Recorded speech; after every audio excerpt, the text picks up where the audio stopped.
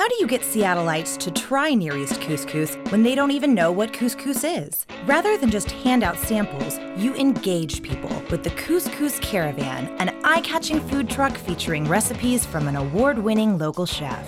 Make Dinner a Destination was a successful local campaign because it put a fresh, unexpected spin on traditional sampling. But most importantly, it delivered booming local sales and showed thousands how easy it is to make a globally inspired dish right at home.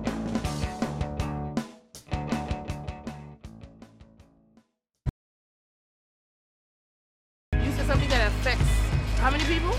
Convincing people to get tested for Hep C requires more than awareness. It takes a movement. Eight foot tall yellow Cs appeared all over New York City, bearing powerful facts about Hep C. Ambassadors were on hand to educate and encourage people to get tested.